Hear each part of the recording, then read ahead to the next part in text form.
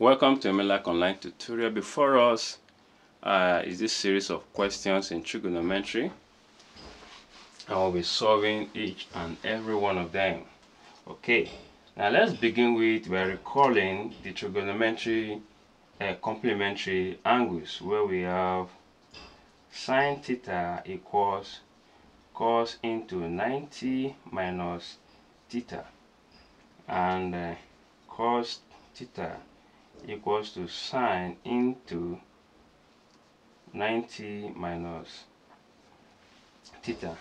Alright now this actually gives us the complementary angles in a right angle triangle which implies that this angle must be le uh, lesser than what? 90 degree. All right okay now let us use these uh, equations to solve this okay? Now for number one here we have sine theta equals cos 50 now what this implies is what angle of the sine will give us cos 50 which means the sine of a particular angle should be equals to the cos 50 degree. All right now starting oh with now what we just need to do is to equate either of these to this. So we can just probably choose sine uh, theta here. So our sine theta here equals cos 90 minus theta. So we now equate this to cos 50 so we equate cos 90 minus theta to what cos 50 so here we have cos 90 minus theta equals cos 50 now having this uh, just eliminate the cos and equate the two angles together. 90 minus 5, uh, theta equals what? 50 degree. Now let us collect like term bringing 50 to the left hand side we have 50 minus i mean 90 minus 50 then equals taking negative uh, theta to the right hand side it becomes what? Positive. So at the end of the day you have what? 40 degree equals what? Theta which means that sine 40 degree we give is the same value as cos 50 degree. Now number two all right coming over here let us uh, make a cos theta.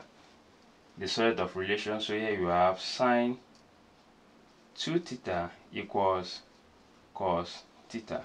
And here we are given that cos theta equals to sine into 90 minus theta. Now let us bring this and substitute for cos theta. So here you have sine 2 theta equals sine into 90 minus theta. Right so you can just eliminate this and equate 2 theta equals 90 minus theta. Alright? Bringing negative theta to the left hand side because they have common term. So here you have 2 theta plus theta equals 90 degrees and here you have what? 3 theta equals what? 90 degree. And if you divide both sides by uh, 3 theta so here we have that theta equals what? 90 degree. Okay? Now number three. Okay? For number three here we have it that cos 2 beta equals uh, sine 4 beta now from here you can make either of these. You can substitute it for either of these. But ensure that whichever that whichever one you are substituting for ensure that your 2 uh, uh, beta equals this. So we'll be replace we will replace this here theta. Okay let us now choose cos. Okay? Now for this cos here now we have our sine into what? 90 minus uh, theta okay let's make use of this place. So for this we can now say sine now into 90 minus then our theta here is the value of our theta here is what? 2 beta. So here you have what? 2 beta then equals sine 4 beta. Okay we can now eliminate this. So we can equate 90 minus 3 beta then equals 4 beta. Now at this point now let us collect like terms. And by collecting like terms negative 3 beta will move to the right hand side become positive here we have what 90 then equals 4 beta plus uh, 3 beta which will give us what? 7 oh sorry this is 2 here is 2 so here we have us 6 beta. Okay? Now moving forward. Here we can now see which is equals to 90 degree. Now if we divide both sides by 6 now 3 here 2 3 here 30 2 here 1 and 2 here 15 degree.